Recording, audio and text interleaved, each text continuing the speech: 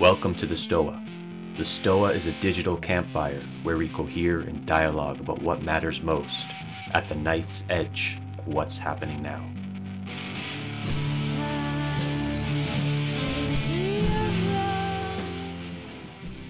Cool. Okay, so check-ins. Um, yeah, I just feel calm, comfortable, uh, very, very grateful and happy to see my good friend Andrew. Um, so welcome to the Stoa. I'm Peter Limberg, the steward of the Stoa, and this is a place for us to cohere and dialogue about what matters most at the knife's edge of this moment. And uh, we have a lighter crew today. Um, and so how it's going to work is that it's almost going to be like a podcast format where Andrew and I are just going to riff on the gift economy and if you have any questions at any time, just write in the chat box. And then when like a thread uh, of ours is kind of um, dies down, then I might tag you in to jump in. So it's like a hot potato with a podcast, and you can jump in with your question for Andrew, and then you can have a kind of exchange, and then I might jump in to get someone else in there, uh, or it just might be me and Andrew just talking for for the whole sixty minutes if no one jumps in. So that's sort of the um, how today will work.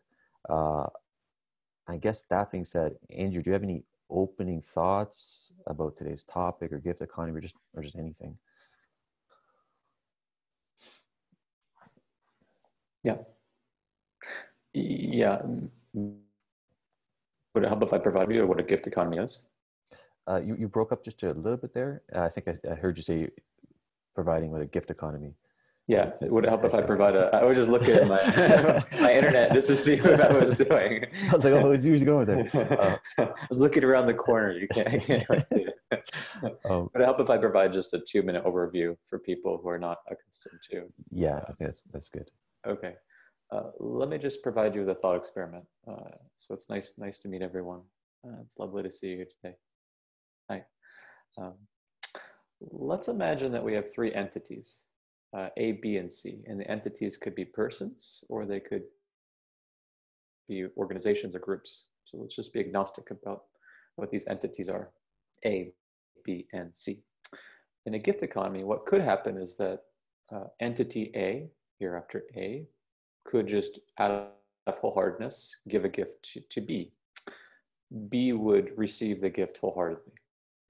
So we have, so far we have uh, one act and two wholehearted moves. Now, it's what's key about a gift economy, at least in my experience of having lived in one for about a decade, is that it's B has no burden. There are no debts that are accruing to B just in virtue of having received a gift from A. So B at some later point could give a gift to C, and that would be fine. And then B would give a gift wholeheartedly to C, and C would receive the gift wholeheartedly. Or at some later point, B could give a gift to A, but it's not in any way an exchange. Those are two fundamentally different acts that transpired there. So you might ask yourself, what is, what is actually going on here? Um, whereas in a market system, you begin with a sense of separation between entities. That sense of separation is perpetuated. In a gift economy, what's happening, if I may put it rather poetically, is that you have in and through the set of actions we call givings and receivings, love emerging. Or if I may put it a little bit less poetically, you get more and more entanglement. Uh, so what's actually going on over, and I gave you a few different acts. If you continue to iterate this process, so to speak, what you begin to see is greater and greater entanglement of different entities with one another. So the aim of a gift economy actually is the, you might say, rather poetically, the full expression of love. Whereas the aim of market uh, transactions is to maintain separate entities as separate entities. So that's just a little starting point, and we can go from there. It's like, like um, the whole thing about how it's uh, uh you're, you're like that that's love it's an expression of love the gift economy i just want to agree with that and not even not even fully understanding it yes uh, but maybe you can kind of fill in some of the um, the details or the gaps there but why is that the case uh, let me try to give you a, a, a very concrete example um, let, us suppose someone out of the blue writes to me and, and gives me a gift of money I, I have no idea who this person is the person is giving the gift in order to support the, the philosophical life I'm leading. And I could just say, thank you, that's that. But that's not really the invitation here. The invitation is for me to write back and say, How are you doing? What's going on with your life? Or thank you so much. Or here's what my life is like. So it ends up being that particular gift ends up being initiation into the ways in which we become more and more entangled. So there's a wonderful quote from um, uh, Martin Sahlins, who is a who was an anthropologist, who wrote a, a, fundamental essay in the 1960s or so called "The Original Affluent Society," and he says in this essay somewhere, or maybe it was in the other part of the book called Stone Age Economics, if friends give gifts, gifts make friends. And it's almost a direct quote from the book. That's a nice instantiation, right? You start to realize that what's happening in and through multiple forms of givings and receivings is that you end up getting what the Greeks would have called philia, uh, an incredible example of loving friendship. Okay, so there's, uh, I, yeah, I, I, I agree with that, and it, and it resonates deeply. Um, now there's a couple, there's, there's a few threads to go down, and I don't have a good sense of which one to go down.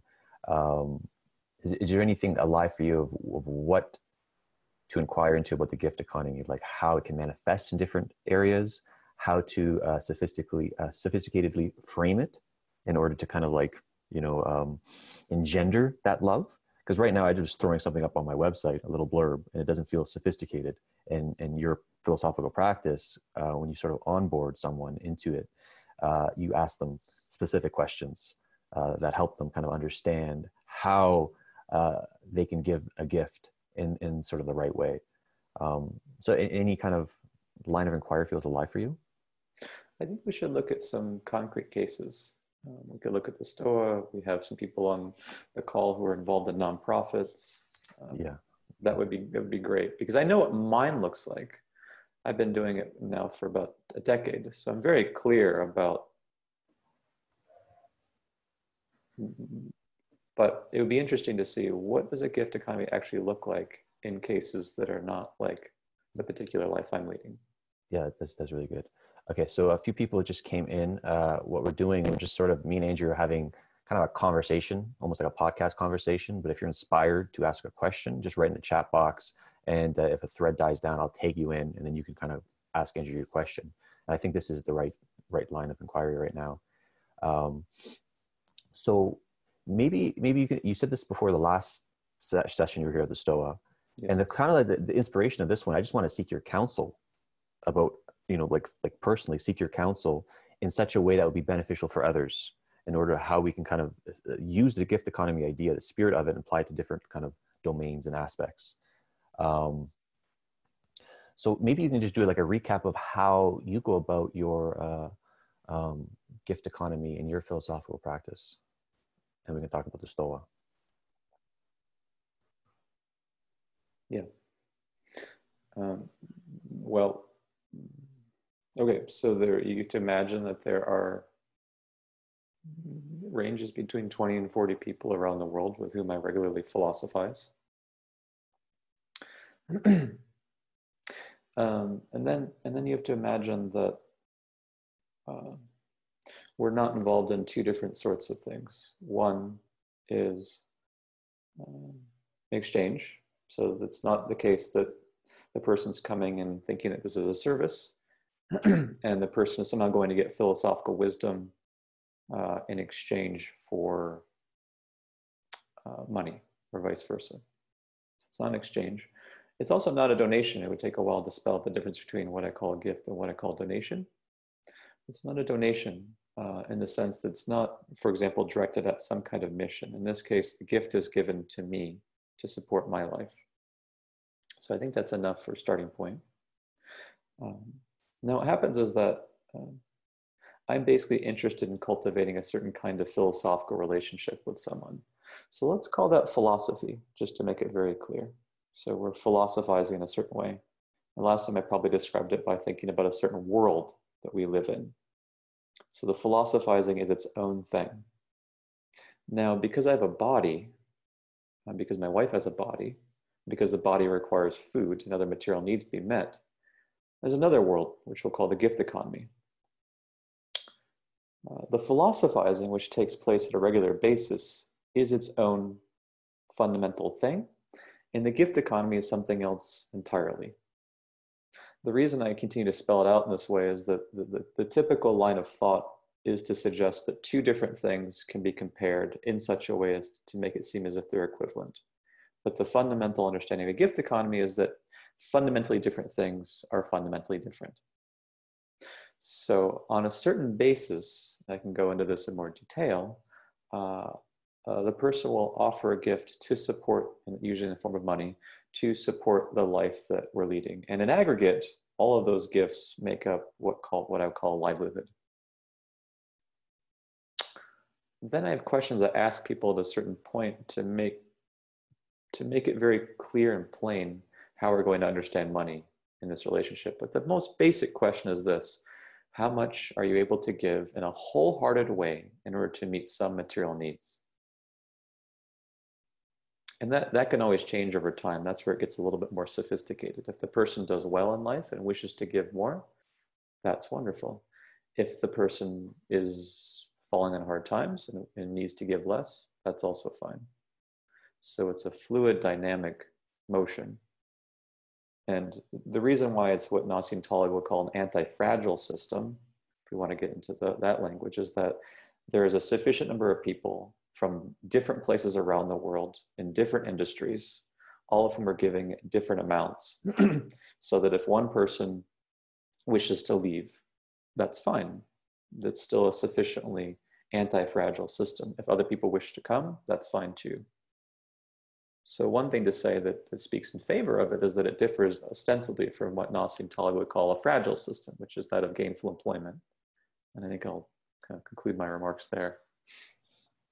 So I've, I've um, so I want to get into the weeds of the Stoa and how the Stoa is using the gift economy and how it can use it better. Um, but first, the the frame I'm using, I'm, I'm viewing uh, the Stoa and this project as my gift to the world right now do you have that frame too with your philosophical practice? Is that, that you're viewing that this is your gift you're giving to the world? Uh, yes and no which is a little bit of a, a coy reply. Yes and if we go back to the two let's let's take the stoa for example. So any of these sessions for you um, you might call that the philosophy world. Uh, so let's say someone comes on talks about seneca or about covid-19 and sense making all of that, where Adam Robbert comes on and talks about, I don't know, uh, spiritual practice for Lena, et cetera, et cetera, et cetera. All of these I would call philosophy. That is a gift, but you have to be very careful with people because you don't want them to think that the gift of philosophy is comparable to the gift uh, that comes in the form of money or help or whatever. Yeah. That's why I tend to be very, I don't tend to use the gift to the world quite as frequently anymore because I get a little bit concerned that people start to think, oh, if you give a gift to the world, then I need to give you a gift or something yes. like that. Yeah. So I usually say that philosophy is about wisdom and understanding. That's why I use this two world dualistic analogy. Yeah. And that the other one's about the gift, which helps to meet the material needs of the body. That's or that you can say it's a gift that, that, that, meets the material needs of the Stoa. If you yeah. Because a part of me just wants to give this whatever I'm doing right here without like receiving anything. I just want to do this uh, the Stoa project? Um, no, I mean, what I one thing I learned is that people today, particularly in spiritual circles, talk about having no expectations. Mm. We've heard that a lot, but that's not really true. I thought about that before our, our uh, this, this session today. It's not that you need to have no expectations; it's that you need to begin to examine the expectations you have and have fewer expectations. One expectation I have for everyone with whom I philosophize is that they give something because I've actually tried uh, in, in, in, my life, uh, I, have actually tried to uh, philosophize with people, and they don't. Uh, there's no uh, expectation they would ever give. Right. It doesn't honestly. I mean, this is not some kind of neoliberal argument. It's just, it, yeah. just it, there needs to be a, typically there needs to be a little bit of skin in the game. Someone right. says thank you, and that's it. You know, to, to, yeah to qualify my, my last statement it wasn't necessarily tied to the gift economy it's just sort of like this whole project to me is sort of like reading a really good book and i don't care if anyone knows i'm reading that book right i just have that desire to do it of course yeah Um, mm-hmm.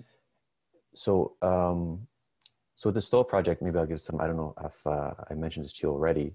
Uh, so the idea here is this is like a digital campfire where we have kind of like a wisdom gym that's forming. There's a psycho like a, a psychotechnology incubator that people can test out things, and that can be ported into the wisdom gym. And then uh, there's like sense making nodes where people come in and speak, like Jordan Hall, yourself, or whoever. And then they have like these Q and A portions. So that's how it's like forming right now. And then people have been offering uh, or inspired to provide gifts uh, just based off the link and just mentioning it in the form of money, help, whatnot. Um, but there has not been sophisticated framing around it like you have in your practice, which I'm hoping we can get to. Uh, but that was what's interesting that's happening here. Already two uh, digital campfires emerged from this project. Uh, Colin Morris is the who I think you you've talked to or are talking to. Uh, he has a digital dance studio about embodiment, and he's basing it off the gift economy. Tyson, who's in this uh, uh, chat right now, he's he's doing a freestyle studio where it's like freestyle rap in the form of kind of like keeping ego in check and as a form of like you know uh, being practicing your truthfulness muscle in a, in a, kind of artistic way. And so he started his own digital uh, campfire based off the gift economy model. And so this sort of thing is, is inspiring others, people to do similar things. And so if we can kind of get it right here at the Stoa, and it would help other people get it right other places as well, which is I find really cool. And uh, Raven is in the audience as well, and she's probably going to do her own thing as uh, with that uh, with the gift economy as well. So that being said, is there any before I kind of like ask you about how to make it more sophisticated, the framing and everything. Any kind of thoughts on how the Stoa could or currently is operating on the gift economy? Yeah, I was thinking about this before our, our session today, and I, I, I found, and I think I may have said this during the last um, gift economy session, that you have to be really clear about the question you ask uh, people, or the, or if you prefer, the invitation you make. Right now, the invitation I think is is too vague. Uh, so the, the vagueness of the invitation will be manifested in often in the vagueness of the responses or non-responses. If I if I ask if I if I just ask a question, um, uh, can you give something? Just uh, people people some would say yes, some would say no. It wouldn't be clear what they would give, and so forth. Mm-hmm. So I like to think about when I philosophize with people. Um, so one of the criteria is to, is to provide an answer that's very plain and clear. Uh, and, and just answer that question. So if I ask someone how old he or she is, that person would just need to give the age. That's it. That's the answer to that question. Yeah. If I ask the person, uh, what sorts of things do you remember from yesterday? That's a little bit of a vaguer question. It's going to be a little bit baggier of an answer. If I ask the person, what's the meaning of life? I would expect that answer to be broader, more abstract, less concise, and so on what I'm trying to illustrate is that right now, the what, what I what I notice uh, is that a lot of um, the non-for-profits seem to have very unclear articulations of what they're asking from people. I'll give you an example. Um, uh, I went to the Garrison Institute, which is in upstate New York, in the fall, where I was at a, a retreat with a spiritual teacher named Rupert Spira, who's in the Advaita Vedanta Direct Path for those who are interested. And uh, as you might imagine, the Garrison Institute and other such places that have largely been these in person retreats have been struggling mightily uh, during COVID 19. So they've, they've pivoted to a virtual sanctuary and they've they recently just this morning were asking for donations and again i argue that donations are slightly different from gifts but it was it was it was someone who was very i think uh, has been in this space for a while, but it still felt as if something was missing. For example, I've only been there once. Is it really going to be the case that I'm likely to be someone who's going to contribute a donation to support this organization? The answer is probably not. So something is going so something is going awry there when you just have uh, uh, a, a, right a vague invitation sent out to your listserv with a view to getting some some people to offer donations. It feels as though there was an opportunity that was missed. That that it lacked the fine grained, right, uh, the fine grained nature of asking a good question of someone who might be interested in giving a gift. Yeah. So what, what's coming up is a desire to say kind of like um, what I want, I guess. Yes. Uh, so um, and then we can maybe tease out some questions. So it's basically I want what you want or what you have, but in a different context. Um, so I want to continue doing what feels like a felt sense level is is doing something that I want to do for its own sake by doing the stoa or whatever whatever is happening right here. And I like the idea if I could be doing this while uh, having my livelihood supported, um, just like you, you know, you uh, you support your yourself, you support your beautiful wife Alexandra, you have a house. Um, that's beautiful, and then you're doing what I what seems to me is your uh, greatest gift to the world. You're giving that. Um, and so I, I want just to support my livelihood. I don't need to be greedy. It would be good to have some little bit money in the bank to, for a rainy day type thing like that. I want to live in a small town with Camille uh, or in a monastery. We might move to the monastic academy. Uh, we got invited to, to stay there. Um, so something like that would be quite beautiful. Um, and as you know, you've been kind of advising me on like the framing of the gift economy, at least that little blurb, like, and in my, my spiel at the end where I say, if you want to give a gift in return, you're like, no, no, no, no, no, cut that shit out, right? like, yeah, it makes hundred percent. Um, and then there's a part of me when I kind of, this is why I'm just like waiting to think about this with, to talk to you. Cause I, I haven't really been thinking about this much, to be honest. And I know because there's so much other shit going on. Um, but there's like a dirtiness too. It feels like kind of being um, more clear on this it's almost like I feel like one of those uh, those I don't know those cam girls who have like an Amazon wish list. Like if I mean like a you know a skateboard or something like that. Like if I've been being, being too clear with it.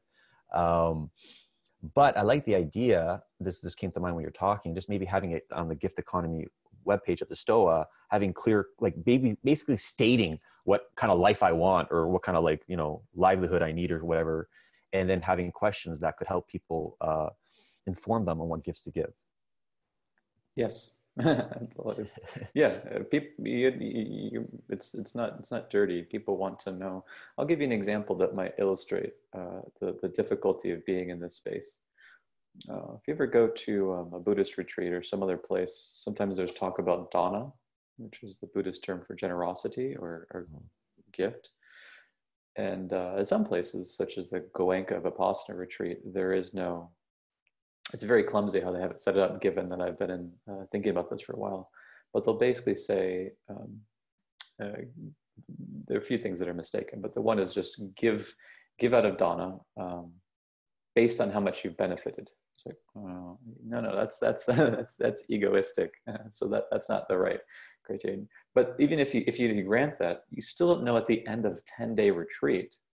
You have nothing to. You don't know what the organization needs you don't you have no you have no way to kind of set some kind of coordinates or guidelines even if you even if you wanted to give which is pretty reasonable after 10 days of receiving um, throughout the court uh, a beautiful retreat you're just not you're not at all clear and the unclarity reveals itself in the fact that you don't really know what an appropriate response is so mm-hmm. I've basically been in that situation a number of times. I know that people um, I've spoken with a been in that situation a number of times. And it's very refreshing, therefore, to have some clarity. Oh, you need shoes. Okay, well, I think I can provide shoes. Here are some shoes. Oh, you need firewood. You're living in rural Appalachia. Okay, well, I would love to provide you with firewood. I can see how that would function or fill out your life. So I think we need to turn it around and say that it's it's not being kind of gross or or, or, or weird to, to, to be specific with people. Yeah, if, yeah. if if if someone wants to be if someone wants to be generous, then someone wants to know that there's a form in which that generosity can manifest itself, and then it's going to be wholeheartedly received. If I just give something vaguely to you, or if I give something out of some abstract sense, yeah, I don't know whether you're going to really it's going to land yeah, I like that. That's the expectation of giving. You know, we know what this is like. To give you a simple example, when we have um, birthdays and your parents give you gifts, and you realize the extent to which they don't understand you, right? right. Yeah. Yeah. Yeah. Right. There's a certain yeah. sense which I you didn't see what it was that I really needed here. Yeah. I think you and I both have a history of receiving gifts like that.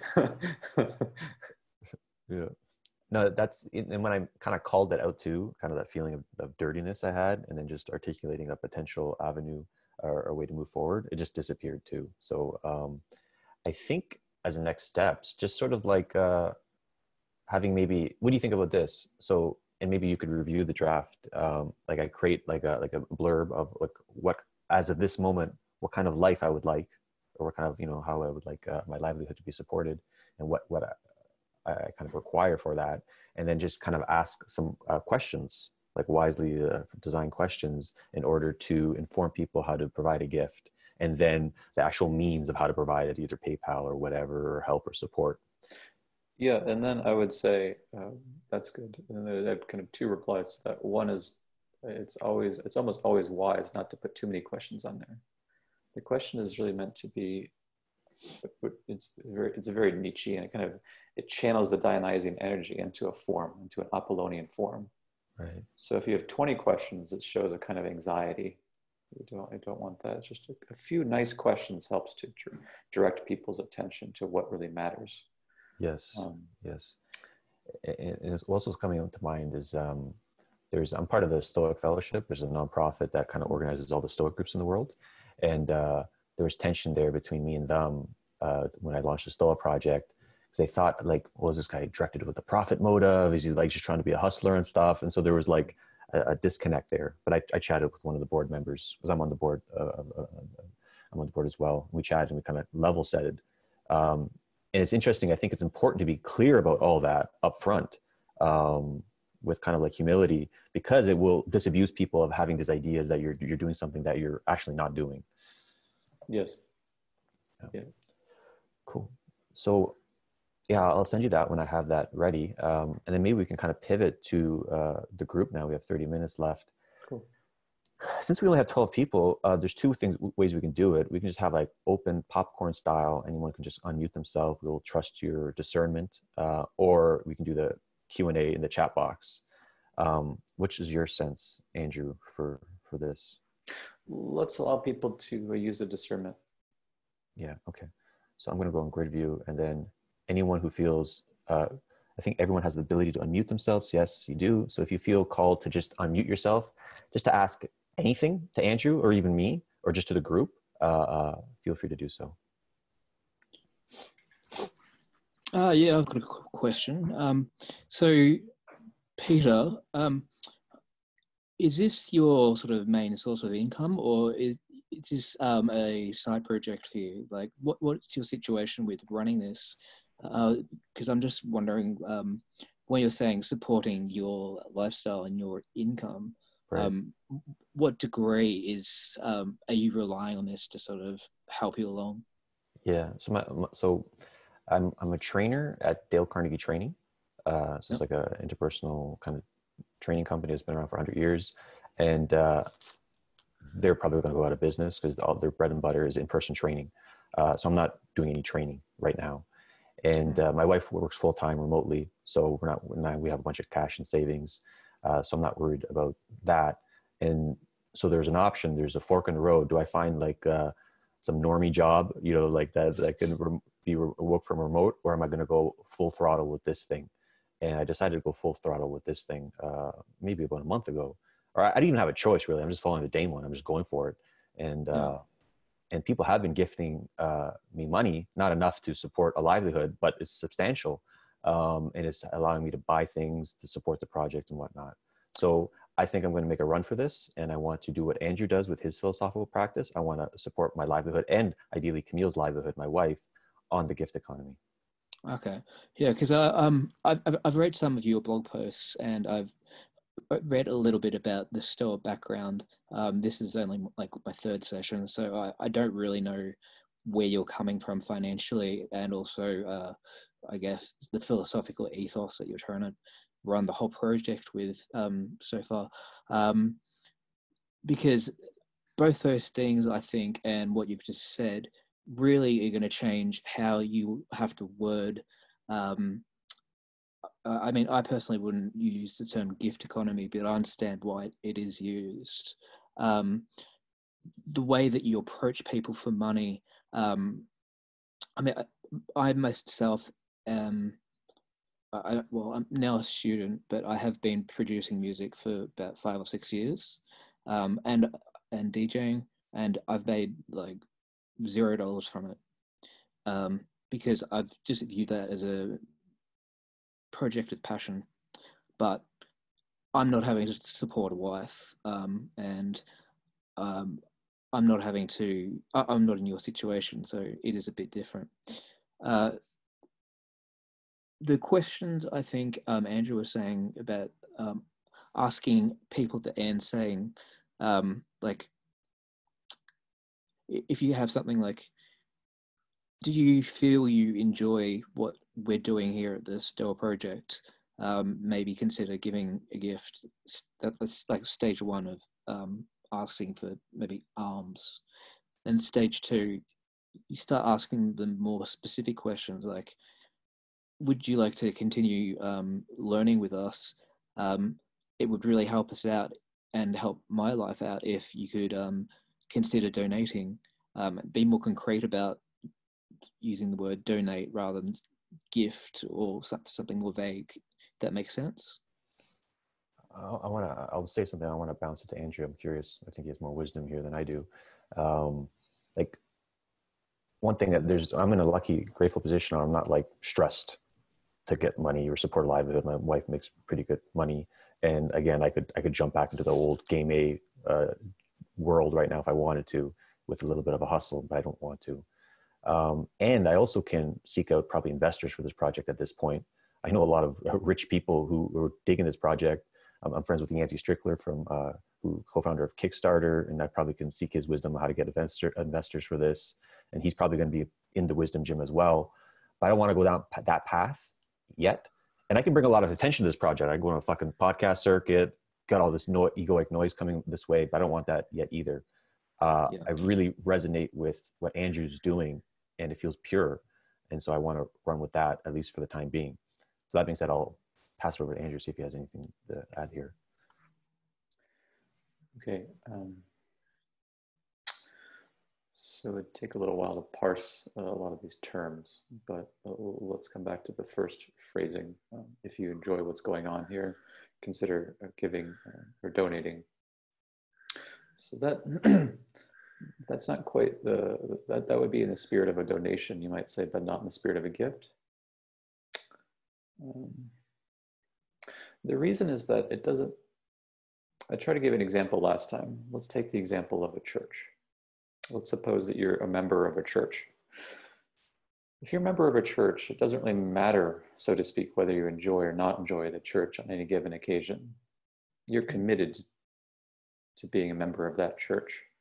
And it doesn't really matter in, in, in a great sense whether the, the sermon was very good on that day. It'd be nice if it were good, but it might not have been that good you're giving, you're giving, I'm going to use the word gift here, you're giving a gift, a certain amount, might be a tithe, in order that the church will continue on for the sake of the other congregants and for the sake of future congregants. That's the key to that particular understanding of, of giving a gift there. Yeah. So usually a donation might arise out of having received something and then it's often pointed at let's say a cause let's say you want to stop malaria in a certain area of africa but the the, the gift the reason I, I use the term is that it's a little bit there's a little bit more play in it comes out of the, the feeling of gratitude which is then transmogrified into an act for the sake of the other, be it Peter or the Stoa, be it a person or the church. Yeah. So would you not um, say that the Stoa is a cause, though, in that you could say it is a cause to further human knowledge and um, further a sense of community of intellectuals and people who like to think and connect? or is when you say cause, are you saying something that's much more definitional? So let's let's come back just just just for a moment. Um,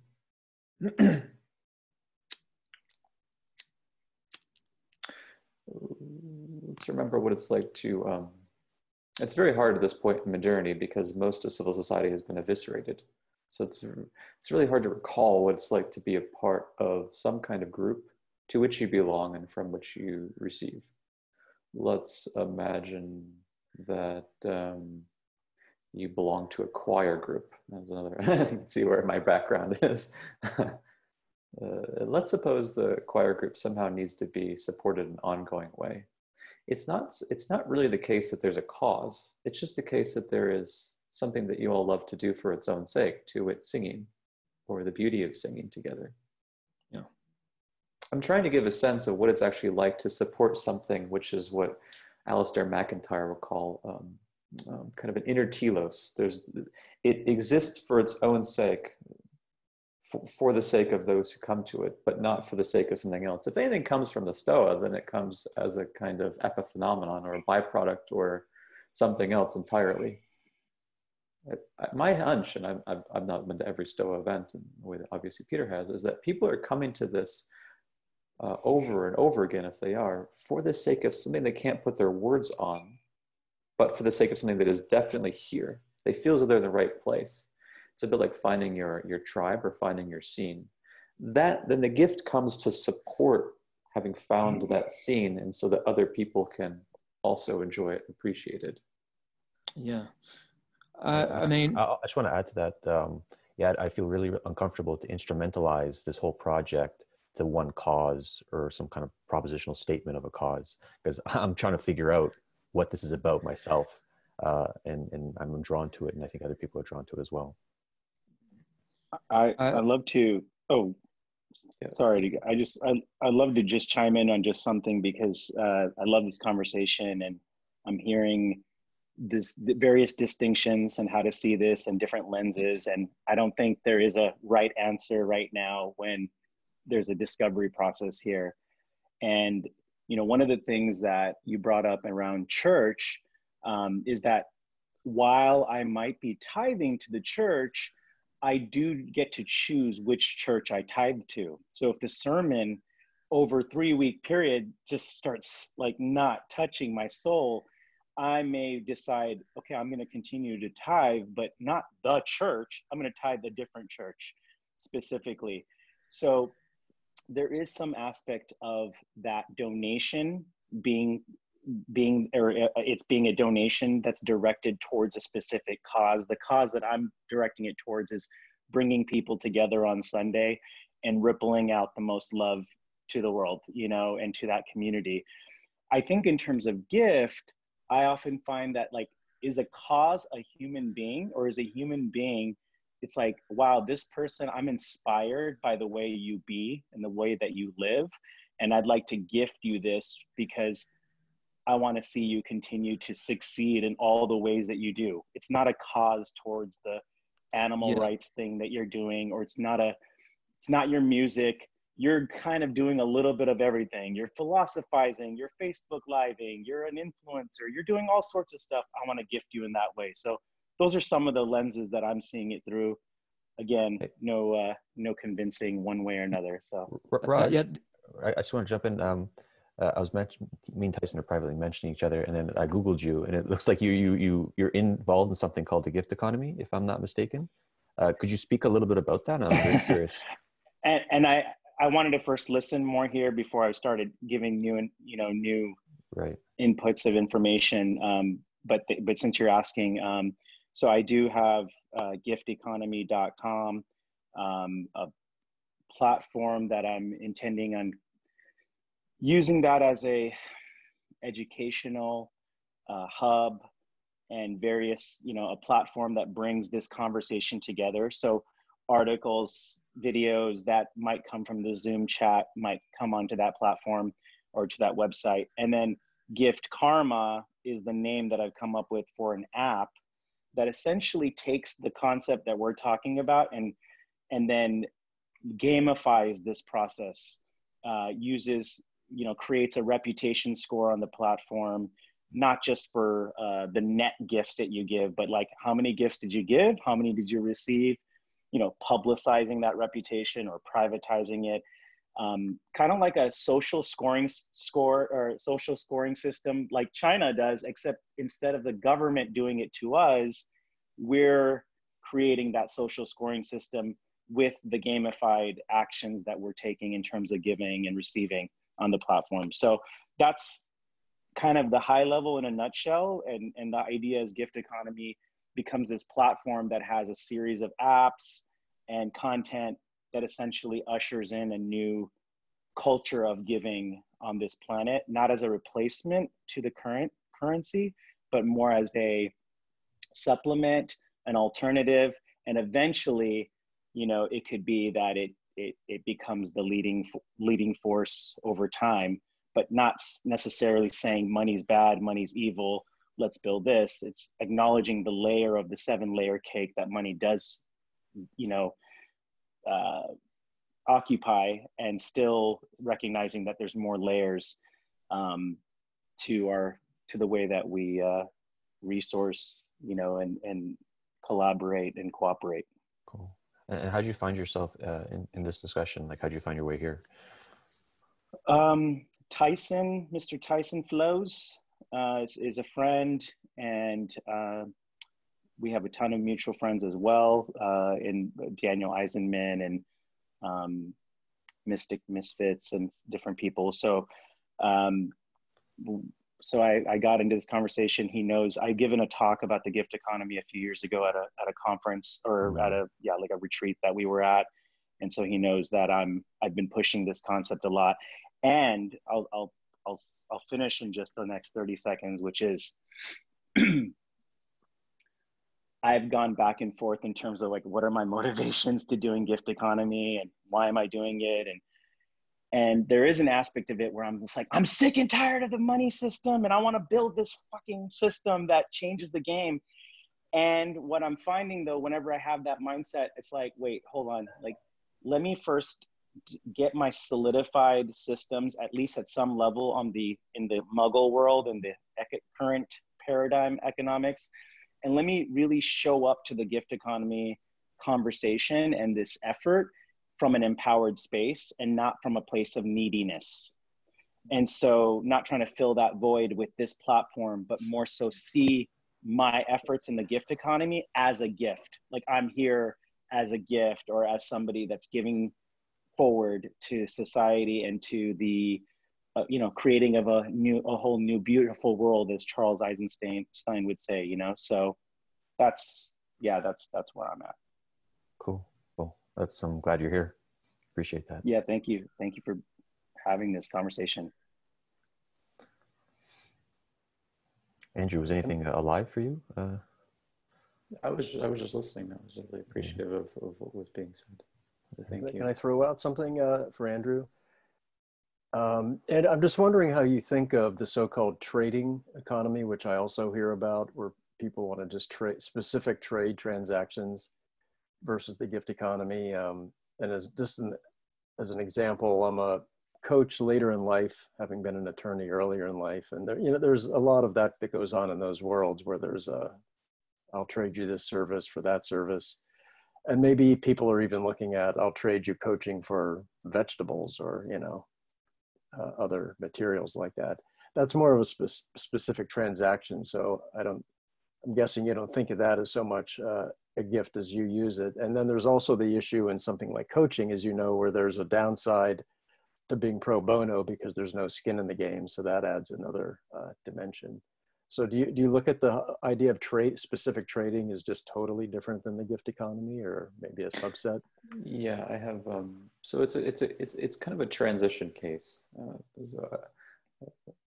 so I, I, typically frame things in the following way. If you ask yourself how have human beings or Homo sapiens, Homo sapiens sapiens ended up surviving, I, have only think, seen three basic models. One, uh, we've lived off the land in various ways. So you can think of hunters and gatherers, and then you can also think of the invention of agriculture around 10 to 12,000 years ago. And you can think of a, American poet Wendell Berry as someone who's argued that we need to return to land and live off of it in a humble, kindly manner. That, that's one. The second one is uh, the, the invention and utilization of markets, specifically in the form of transactions, trades, or exchanges. The third one is, is the hard one to describe. It's, it's, it's, it's, it's the notion, I call it the gift. Um, so typically what happens with people is that they, as they begin to question, let's say, the ubiquity of the market system, they begin to uh, cast about and they look for some alternatives. And the first alternative seems to be barter or trade. It's not bad. Uh, it, it, it's not bad in the sense that a coaching, I, I have one person I speak with who trade trades coaching sessions for yoga sessions. That, that's fine. But it's a good transition case. It does suggest that there's something that I can offer and something that you can offer, and we won't we won't mediate it through the use of money. But that's fine. But I don't think it quite goes far enough because really what you care about is being with that person. Let's just make it clear, right? You, if, if, if you're offering a coaching session and that person is offering in turn yoga session, really what you're doing, okay, I'll, I'll, give you an example from a friend of mine. He's in his 60s. He says that what men tend to, by the way, this is a, he's an older man, so this is kind of what men tend to do, sort of statement. He says what men tend to do is that they mediate the relationship through some kind of thing. They can't just talk to one another. They have to watch football and kind of look over and chat, or they have to play some kind of sport. Uh, and while they're while they're tossing the football back and forth, they talk about something seriously. I think what's happening here with this this notion of trade or barter with, regard to certain relationships is that there's not yet the foregrounding of the relationship. What gift, what, what giving, in the sense I use it, tends to do is it, it finally foregrounds the relationship that you care about you finally realize that that's what's substantively at stake here. And so the gift is the gift is sort of the secondary part that helps to mediate the and, and so to speak lubricate the relationship. Um, and, and I think we notice a difference if someone comes over and um, and, out of the blue gives you a gift. It feels so heartwarming and you don't expect anything from it. Let's just remember that experience and gives you a gift out of the blue. And it's, it's so heartwarming. It's so lovely. Can I speak to that? Yeah. Um, it's two points there. Um, I'll put my first, well, my second point first. Um, what you were saying about a heartwarming gift. Um, so I just recently did that for my best friend. Um, he's sort of been in dire straits recently, had suicidal ideation and sort of uh, uh, had a suicide attempt and has had quite bad depression. Um, and I had told him, um, you probably all know the show Mr. Rogers' Neighborhood or have um, heard of it in the past. And I told him about uh, Mr. Rogers and sort of just the the simple kindness that he showed. And um, I had a phone call with him and I sung him the song "It's You I Like," um, because I know who he, I knew he was in that sort of mindset where he needed someone to show him or even gift him care. And at the end of, I think it was the morning after, I said, "Hey, give me your address, mate." Went on to Amazon and I ordered him a book of Mr. Rogers quotes, and I said, "This is my gift to you. Put this on the side of your bed." And anytime you feel sad or you don't feel cared for, just flip to a page and think of me. And that's my gift here is just my um, unconditional care and love. And that is um, just what I wanted to speak on on what you your uh, your last point was that that um, when we're given a gift like that out of the blue and without any um, need for reciprocation or wanting a, return, um, it positively enlightens our soul. Yeah, I think that's very beautiful. Thank you. That is very heartwarming. I mean, that, that nails it. That's that. I hope that everyone heard that because that's really the spirit of a gift. It's, it's, it's, it's exactly right. And um, and then, then there's non-attachment, so you can't keep telling the story mm-hmm. ten years from now. and you, kind of let, you have to let go of it, so there is an ego attachment. But it's, it's a very, I, beautiful, a, beautiful story. A second point as well. So with uh, in the form of a gift, um, uh, who was Ron was saying he um, he was uh, doing like a quid pro quo of coaching for another service, and now uh, service for service is sort of a little bit different. Um, I, I don't have a job currently, so I do try to give money when I can. And um, but with me, I have quite a lot of um, skills in my repertoire, and what I like to do is is when I see there's a project or a person or um, an idea that I fully support and I want to see flourish, is that I'll approach that person and I'll offer my skills or offer to collaborate with them in the form of what I term as a gift um, to help the project um, move on or improve or like uh, I've been writing for about six years. So um, I'll say hey if you just need some like promo posts or if you need me to help um, proofread or edit or something we'll do it for free. Um, because I believe in this project and I want to see see it uh, move forward. Would you say that is part of the gift economy? Or is that still sort of like a, a marketable type thing in a sense? I think it's the, the case is probably not thick enough, but I mean, to, to discern, but uh, let's suppose that uh, you saw something that you really cared about, as, as, seems to be the case. Let's suppose also that you were clear about uh, the extent of your commitment. Otherwise, it'll, it'll turn into a volunteer position of some kind. So you, you're, you're clear that it's rather scoped, so to say. And you're clear that you're really looking for nothing in return. Yeah. Um, so so it's not so to speak like some kind of Weasley internship or something like that. Uh, then then it looks like a gift. Um, now, usually what happens here is that people will have alternate. The, really interesting part of the point of spiritual practice is that you have to very much investigate your intentions. Because if it comes to pass that what you're really doing is uh, you're you, you, say it's a gift but in truth you're at the art gallery. This is before covid-19 so that you could be an intern so that you become fully hired and so forth then it's fine. It's certainly a, a networking strategy but that's no longer a gift. That's just a right? It's a it's a it's a way to get yourself gainfully employed yeah and i, I also think um, not so much with gifts, but with Western altruism, um, th- there's a sense that there's a lot of people who practice altruism now, but not for the uh, the sole cause of altruism, of compassion and empathy. What they're doing is they're practicing altruism, say giving um, money to a homeless person, because they want that response of "I've done something good, I've done my part." um, and they just they want a, a, dopamine response, but they're not doing it just out of kindness and compassion.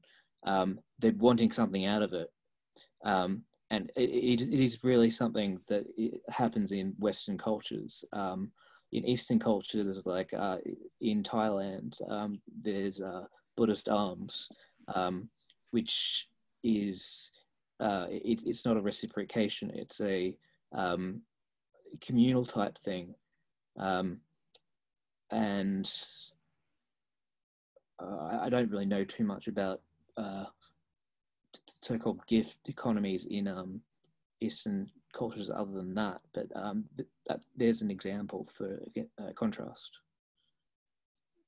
Right. So the, the important point here, and now, now we have about five minutes left, so I'm going to open it up for anyone else, so I'll make this brief, is that one reason I like um, this alternative economy, which we've been calling a gift economy, is that it actually does require a purification of your intentions.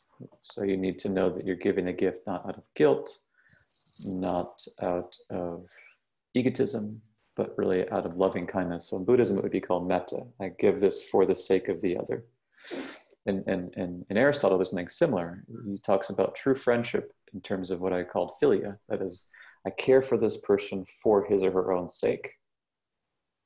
So that's that's the kind of the essence of the practice is to learn that. But I'm aware that we have just about four minutes left. So is there yeah. anyone else who would like to offer something? So I uh, just uh, just jump in. Um, Andrew, are you you have to go right at the hour? Could you stay maybe like five ten minutes after just to field yeah, one yeah, question? Sure. Yeah. Sure. So anyone who hasn't spoken yet, um, and if you have something, uh, feel free to just jump off mute. Yeah, you have your hand up, uh, Gene. Thank you. Um, I'm just wondering uh, if you can think back in, you know, prehistory, as it were, uh, for both uh, Peter and Andrew. Uh, was the gift response perhaps the the origins, the genesis of uh, of all our economies? Uh, you know, can you imagine perhaps a, in a tribal setting of prehistoric humans, um, just simply one person giving a gift to another and that led gradually to the the trading, of the market economies, and everything that we have now. Then a second thing that I just thought we could riff on a little bit is if, if it's something in, in, a negative context that would be considered by most of society to be a negative. for example, if somebody wanted to give a gift to the NRA or to the uh, white supremacy movement or something like that, um, how should we treat that as uh, in the overall society? Uh, do we all have free will to gift whatever we want, or or is it um, uh, should there be some I don't know moral constraints about about all that? Can I throw that out? Sure, I'll, I'll, I'll take a crack at those hard questions. Unless you want to, Peter. no, no, okay. All right, so the first one. Uh, I'm not enough of a historian of anthropology to be able to quite answer it, but I can, I can, I can venture a hunch, and let's just call it a hunch. The hunch would be that within a tribe, you can have, in some tribes, the circulation of gifts. So if you want to, I can point you to some literature on that. So this is within the tribe circulation of gifts on the assumption that uh, at a certain level of um, development in a hunter-gatherer tribe, you're going to have the dispersal of gifts according to the needs of this particular ensemble. That's probably true. I think you usually begin to notice, and, and uh, anthropologists and historians of economics will, will correct me if I'm wrong, that, that, that uh, trading occurs between tribes. So this is what's really interesting. I think we still have that, that, that intuition. This is what I've written about in the recent years. The intuition is that to, to your friends, in the substantive sense, you give gifts. To those who are strangers, you transact. We still have that intuition. This is why it seems strange to us. This is why PayPal is a completely anomalous, right? Neologism, because you don't pay your pals. You would never pay your pals, right? You give gifts to your pals. it's also why the sharing economy is anomalous too. It's not a sharing economy. That's just game A in a different form. Uh, Airbnb was B&B was never a sharing economy. It was always just a, a, a hospitality industry. We we feel that in our sense that if you're really going to share something with someone, that looks as though it's a relationship of friendliness or friendship. If you're going to exchange with someone, that looks as though it's someone with whom you don't want to have a friendship. It's a stranger whom you trust in a very minimal sense. So that's that's my first take. Um, the second one, uh, I'm not really sure how to answer the question about whether or not we should limit gifts given to, say, the NRA. Uh, I, I've never really thought about that very much. Um, I guess the question would be if, if you uh, granting the granting the existence of this entity, would it be the case that gifts would be such as to make it so powerful as to be hegemonic or dominant in that society? That's the best I can do at this point. that is to say, if you were to allow for gifts to be given to the point at which the NRA becomes so huge, became so huge that gun ownership became so great that um, the effects of gun ownership were so bad for Americans which it probably is. which it probably is, but that's the best I can say. I, I'm not really sure. Um, but thank you for your questions. I love just just to speak into this. You know, if I have a customer that comes to my store and I I know that he has a history of stealing, you know, do I say sorry, no shirt, no shoes, no stealers, you know, no service, you know, like do I is it on me to stop that transaction or that interaction with him because I'm not because I judge his actions to be out of alignment with my moral value code. And I've wrestled with that and the truth is is that we're connected to every person anyways and it's not my decision or my choice to say if I'm going to do that. If I want to, I will, but not from a should place, but from a desire do I want to interact with this person or not? And I think the having the should or the rules around it for ourselves or for others, I think we can just speak to it that like, hey, when we're gifting, we are putting energy into something. We are watering that plant. And if that plant is a weed, then that weed's gonna get bigger. And so it's just part of the knowledge that we go into it with that awareness. So that's that's like one point I want to share. And then as far as the second point with with Andre talking about, like, it's a it's a bridge. Uh, I, I wait, I'm not sure. Sorry, I don't remember who started this, but in terms of giving, like, if you're giving because you want to get the recognition that you're this generous person well that's okay that could be a bridge because you might do it for the external validation and the ego and your wife is gonna you know think you're hot stuff because you gave you know you're giving and you're such an amazing macho guy that's helping the world.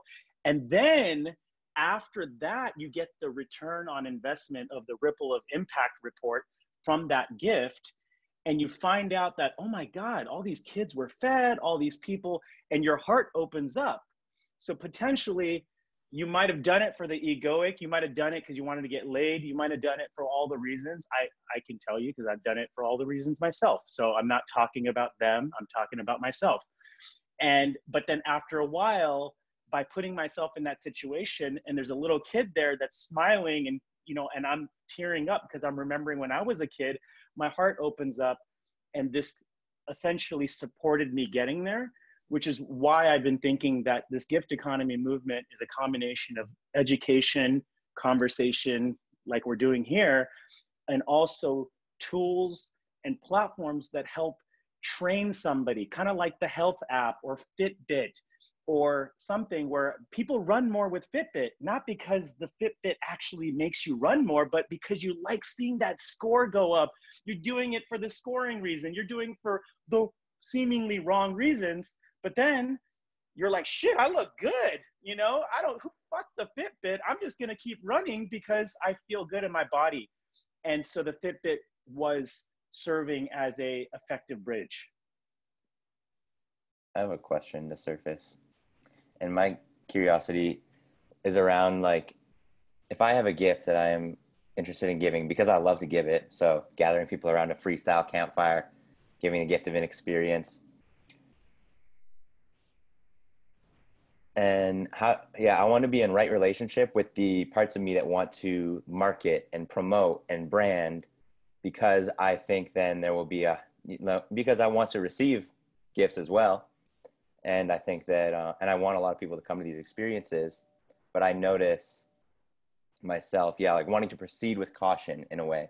I don't want to bring i want to be wise about what game a things i've taken on that i bring into this relationship and what I completely leave behind. Um, so I'm just curious about any thoughts about how to be in right relationship with that. Right. Uh, I just want to double click and support that comment because that's uh, uh, a challenge that I find with the whole Stoa project of like, like I could market it more aggressively, but I'm not because I, I like the slow build of, of attracting the right people. I don't think we have uh, the sort of the the ability to transmute noise into signal right now or, or, kind of keep ego in check if too much ego comes in too fast. So i'm really curious what andrew because um, i remember you had a, a, few i'm not really sure what the question is exactly. Um, if i were to phrase it it's like tyson he has this freestyle through the pandemic uh, every saturday and it was really fucking quality session and he has his own digital uh, campfire that he has a few sessions that he's uh, uh stewarding and then the idea is how to wisely market to bring more people in to find out about it without sort of uh, you know i guess attracting the wrong people or marketing in the wrong way where you're maybe marketing it out of ego or game a purposes why do you need to why do you need to market it? Okay well then this might be a way to um, add into the question is being in right relationship with the uh, like reliance on uh, receiving gifts. And um yeah so maybe like if there was ever a time for you andrew where you found yourself in feeling a sense of need for a gift for like your security or well-being or health uh, maybe that situation has happened maybe not um, how did you approach like maybe making your offering more widely available or more findable found more more awareness so that you might then attract more people to um, philosophize with so then that you might receive more gifts and take better care of your needs. Um, and so for me i guess i just have i i notice these like hesitations or this caution about marketing and like spreading something and because of the part of me that is like wants the gifts that are going to come from doing that? Well, um, you just have to investigate. I mean, I hate to. to make it sound very spiritual, but you have to investigate what you just said there. I, I mean, I've never really marketed. I've just, you know, if I may speak in something like a Sufi, I would say I, I do the best at philosophizing and let God take care of the rest. You know, you can put that in stoical terms if you want to. You know, I see what's within my powers, and I let the rest of it, the rest of it's amor fati. Um, that's so, you know, you know it's it seems like an undramatic answer, but you have to kind of investigate that feeling of need, the feeling of want, the contraction. Because if you know, uh, you know, the, the, the trust comes in the following manner: if if this is a beautiful thing, it's a truly beautiful thing, then people will find it. Yeah, that's that's where my intuition sits as well. Uh, let's do Tom. Uh, last question, uh, and then we'll close up. Thanks. Yeah. Um, to be sort of pragmatic, I think what Tyson and Peter are getting at is different than what you're doing, Andrew, and maybe what Ron is doing, because I think Ron and Andrew, I, I believe, are working one on one with individuals and then sort of negotiating or going through a series of questions of what can you gift me or give me.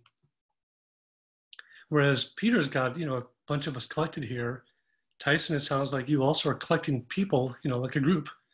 So my question is, and to throw in an opinion quickly too, Raj, I'm a little worried that there's too much re- reliance on getting people's ego into having a score about what they're giving, which is kind of the market economy of especially nonprofits and rich people who love just everybody to know how great they are.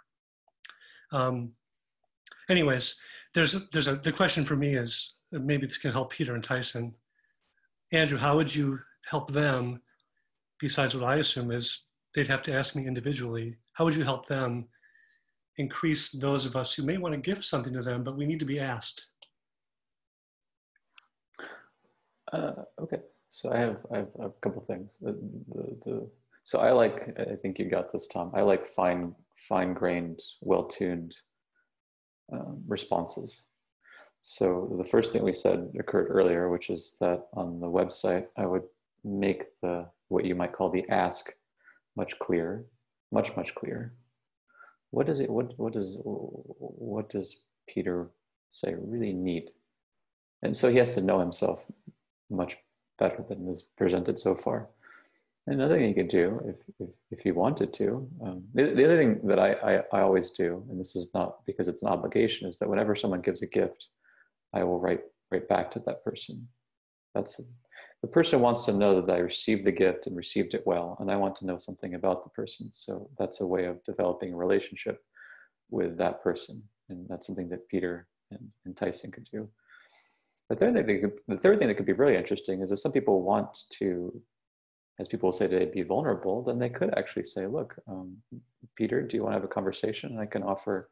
We can talk about what would be a reasonable gift for you to offer, for me to offer you." You could do some of those sessions that would give him a sense of what people are how their people are thinking. This is not market research it's just a way of understanding what people are actually thinking. And it's a way for him to actually learn um, to learn to be much more comfortable around money. I've been doing something like that for 10 years and it, it's actually a spiritual practice of learning what it's like to listen very openly very non-judgmentally to what someone is saying to the point at which that person feels as if he or she can give wholeheartedly, whatever it is, and not in reference to what someone else would give or might give, or not in reference to what that person would like to give. Um, in other words, I don't, I don't necessarily, if one wants to be very intimate about this, I don't see a way around um, the need to actually have some correspondences with people. Gift economies are very messy, my experience of gift economy is that it's very touchy. It's, it's very tactile there's a lot of touching that goes on. You know, Winnicott would say there's a lot of holding, there's a lot of holding and touching. So that's uh, uh, that's the kind of the, the pithy response is that find a way to have lots of holds and touches. Very cool. So uh, for my commitment, I, I, will continue learning out loud uh, with this project in front of you all, uh, and and brother Andrew will will be along for the ride, I imagine. um, so that being said, Andrew, thanks so much. Coming today and, and, sharing your thoughts and engaging with us.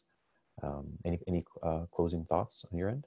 No, just thank you very much for having me. I really enjoyed the conversation. I enjoyed meeting a lot of you today. It's be wonderful to see you again sometime. Mm-hmm. And uh, thank everyone uh, for coming out today. Um, I'm, I'm really gun shy talking about the gift economy right now, so I'll let myself uh, collect my my thoughts and just share this link uh, in the time being in the chat box. And uh, I'll mention briefly for the upcoming events um, for today. Yeah, we just have one this afternoon at 6 p.m. Eastern Time, a shame breakthrough boot camp with AJ Bond. Uh, he's a shame educator here in Toronto. Uh, he does these wonderful sessions about how to like build a relationship with shame individually and collectively. So check that out on the, the website. All right, everyone. Thanks so much. Be well. Care. I like how Andrew closes it.